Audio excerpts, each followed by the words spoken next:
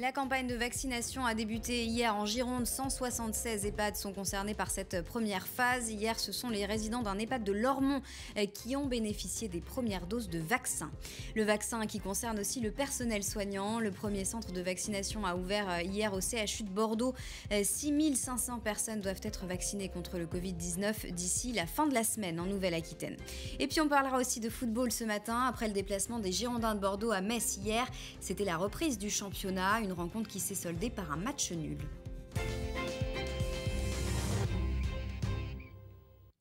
Ça y est, c'est fait. La campagne de vaccination contre le Covid-19 est lancée dans les 176 EHPAD de Gironde. Portés volontaires pour euh, démarrer la campagne, l'EHPAD de Lormont a vacciné ses premiers résidents hier après-midi.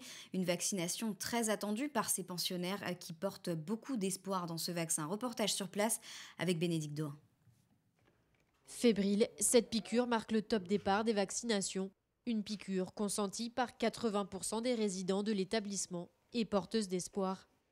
La particularité, c'est qu'on espère, c'est que c'est le, départ pour, euh, pour euh, revenir vers une vie un peu plus normale.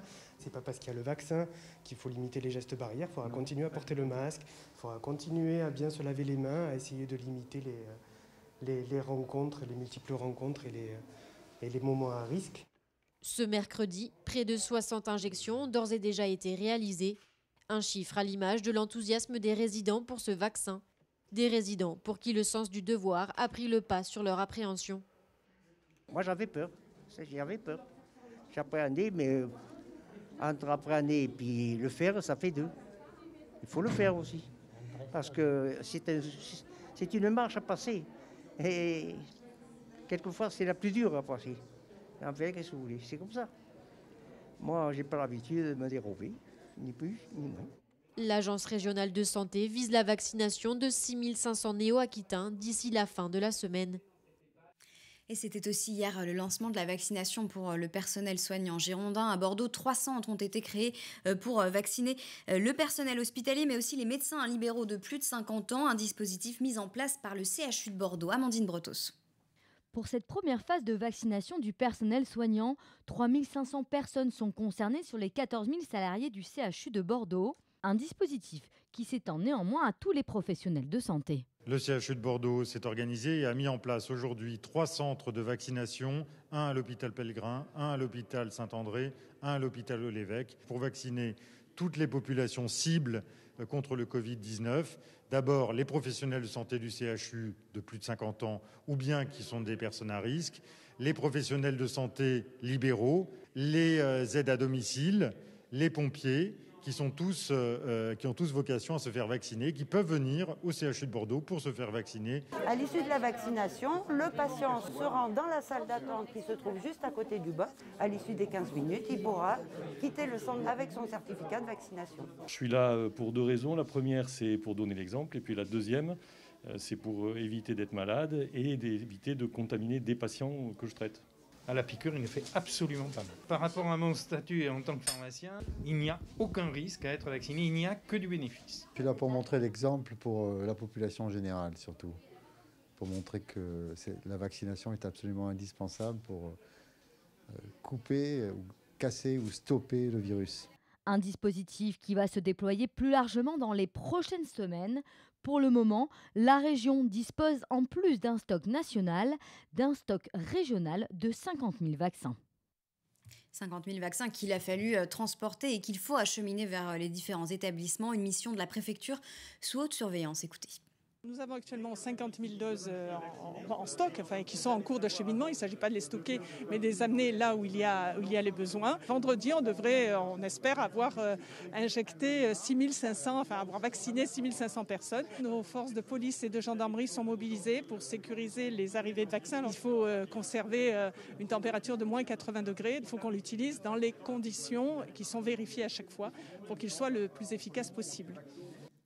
Et hier, lors de ses vœux à la presse, le président du département de la Gironde a longuement évoqué euh, le vaccin contre le Covid-19. Jean-Luc Glaise estime euh, que le département a un rôle important à jouer dans son déploiement. Écoutez.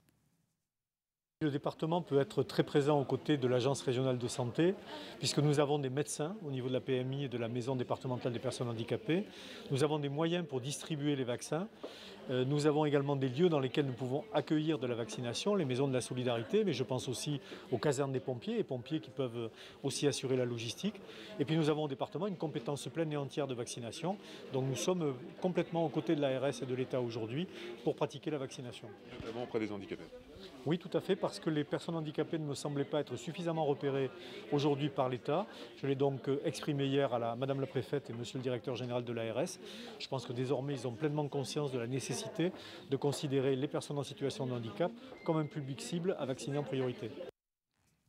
Et parmi les premiers bénéficiaires du vaccin, hier, le président de la région Nouvelle-Aquitaine, il s'est fait euh, vacciner contre le Covid-19 au CHU de Bordeaux pour montrer l'exemple.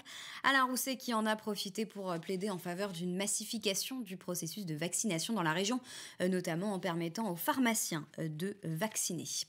Une campagne de vaccination justement qui devrait prendre de l'ampleur dans les prochaines semaines. Le Premier ministre Jean Castex devrait le confirmer ce soir. Il doit s'exprimer à 18h pour faire le point sur le vaccin, mais aussi pour donner de nouvelles perspectives aux professionnels touchés par la crise, les restaurateurs, le monde de la culture, mais aussi les stations de ski qui placent beaucoup d'espoir dans une réouverture pour les vacances de février. Écoutez. On espère pouvoir ouvrir au plus tôt. Euh, ce qu'on attend, c'est ça, c'est qu'on nous donne l'autorisation d'ouvrir les, les domaines skiables le plus tôt possible. Alors bien évidemment, on a en point de mire les vacances de février, car elles représentent plus de, plus de la moitié du chiffre d'affaires annuel d'une station de ski. Donc euh, si on peut faire euh, les vacances de février, ce sera, je dirais, un moindre mal sur, sur une année euh, extrêmement compliquée. maintenant, il faut aussi que ben, les clients sachent que les stations sont ouvertes, donc il faut qu'on leur annonce le plus rapidement possible. Et donc, le bon signal, ce serait l'ouverture des stations euh, mais bien avant la fin du mois de janvier. Euh, enfin, la saison 2020-2021 euh, sera, sera ratée pour la moitié, puisqu'on a, on a quand même les, vacances de Noël qui n'auront pas permis de, de, faire du chiffre d'affaires, une partie du mois de janvier, donc on, sait que ce sera une saison à moitié ratée, donc une année qui va être compliquée financièrement pour supporter toutes nos charges et qui risque d'avoir des conséquences sur deux, voire trois saisons euh, prochaines, sur notamment ben, le renouvellement euh, et les investissements à venir.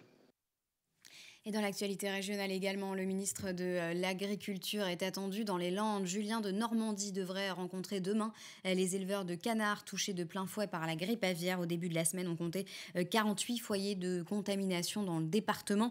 On en parle ce matin avec notre invité, la vice-présidente du MODEF, le mouvement de défense des exploitants familiaux dans les Landes. Et puis un mot de sport avec ce match nul des Girondins de Bordeaux. C'était hier soir sur la pelouse de Metz. Les Bordelais n'ont pas réussi à marquer. Ils ont souffert de l'absence de leur meneur Atem Ben Arfa. On en parle ce matin dans votre Focus Sport avec Bastien Loquet. Restez avec nous sur TV7.